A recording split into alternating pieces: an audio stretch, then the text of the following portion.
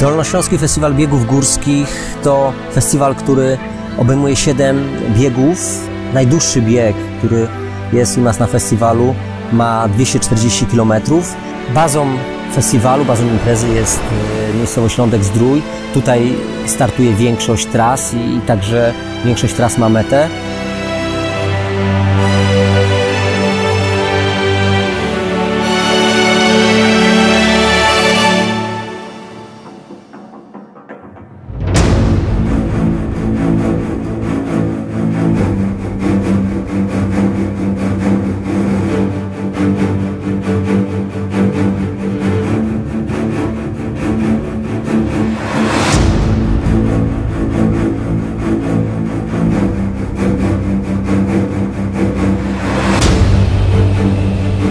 Na całym festiwalu, na naszych trasach jest bardzo duża różnorodność terenu. Od najwyższych e, wzniesień i w zasadzie terenu alpejskiego, którym jest śnieżnik, po skałki lądeckie, po Park Narodowy Gór Stołowych, po niesamowity labirynt skalny.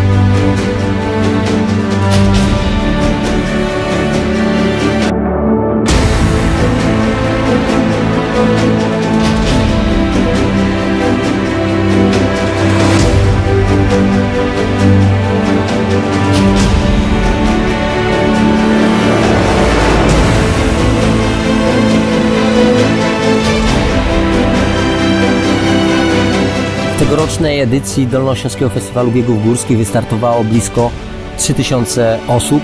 Drugie tyle przyjechało jako osoby towarzyszące, dlatego sama miejscowość Lądek, Zdrój przez te 3-4 dni e, był naprawdę miastem biegaczy. Można było czuć to na, w zasadzie na każdym kroku.